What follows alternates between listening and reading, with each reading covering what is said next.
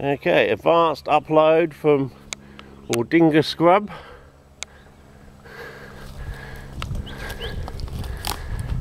Yes, we're searching for the water.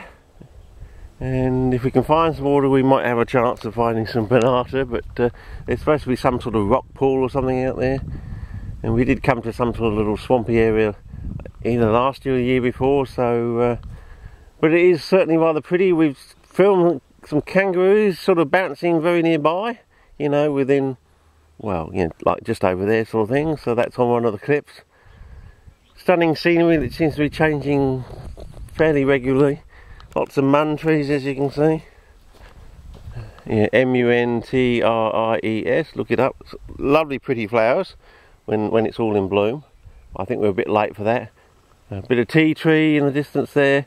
Anyway, over and out for a short advanced upload and check out the um, the full load in the full Christmas um, special number six. I finally got out here after having a few health scares so uh, you might want to listen to those too because it might help you on your in your part of the world as well anyway over and out for now